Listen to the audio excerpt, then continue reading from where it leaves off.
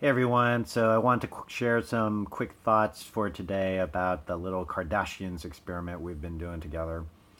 Uh, clearly, one of the things that tripped us up last week was the technology, and uh, it really made me think about containers and the importance of having a strong container whenever you're trying to do any group work, and of course, uh, having familiarity and literacy around the, the tools that you use to communicate is part of the container.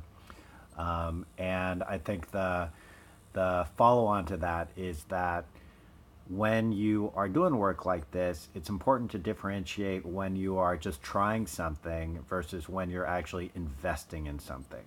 And I think at this point, one of the things that we as E3 should be thinking about is what sort of uh, investment should we make in supporting all of us in using these tools more effectively. That's where I am. Hope you all had a good Monday, and I will talk to you later.